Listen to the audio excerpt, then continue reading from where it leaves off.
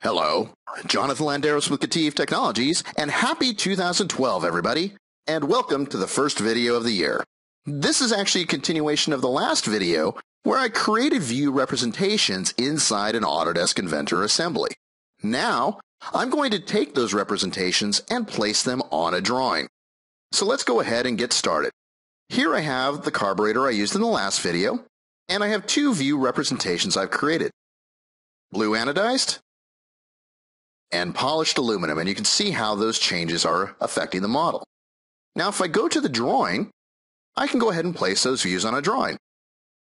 I create a base view like I would any old way, but now if I look at the screen here where I'm moving my mouse, you can see we've got a blue anodized and a polished aluminum needle uh, that are showing up in my representation screen.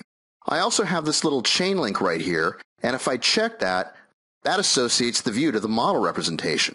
So if the representation changes, it will affect the model. So let's go ahead and I'm going to place this needle on the screen. Once that needle's on the screen, I can go ahead and see how the colors and the visibilities are affected.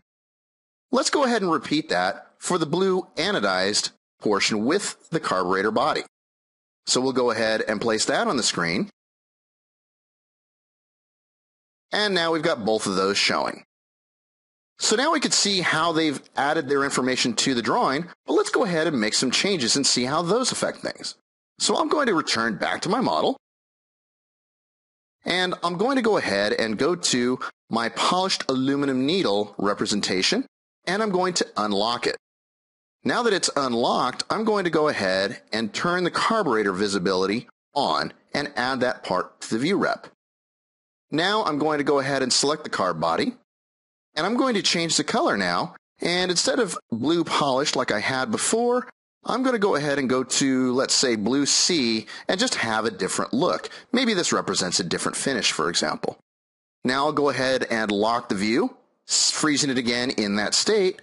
And now I'll return back to the drawing and the drawing will update with that information. So you can see how you can use that to manage views. It's definitely something I think you can take a look at and see how it can help you. Anyway, that's it for this video. And again, everybody, I hope you have a great 2012.